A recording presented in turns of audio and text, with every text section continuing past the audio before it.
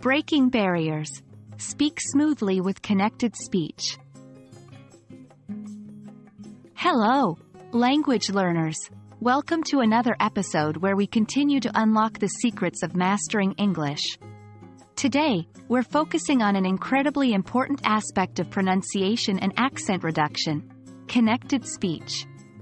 We'll be diving deep into how to improve your speaking skills with exercises specifically designed for connected speech.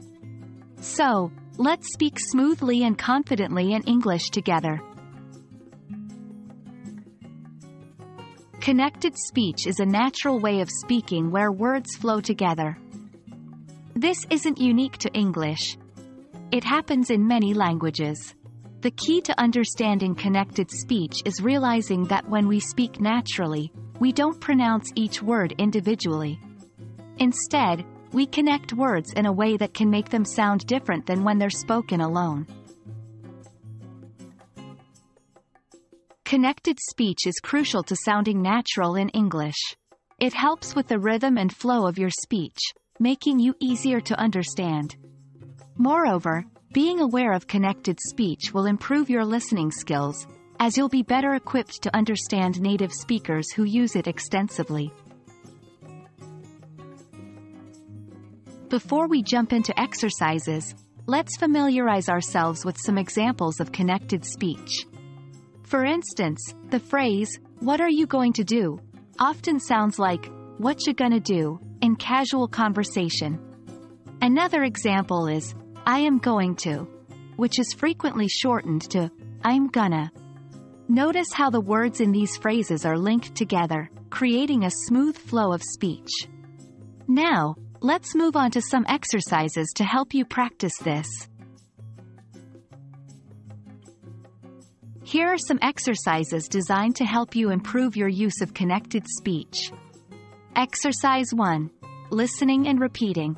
Find an English video, podcast, or audiobook.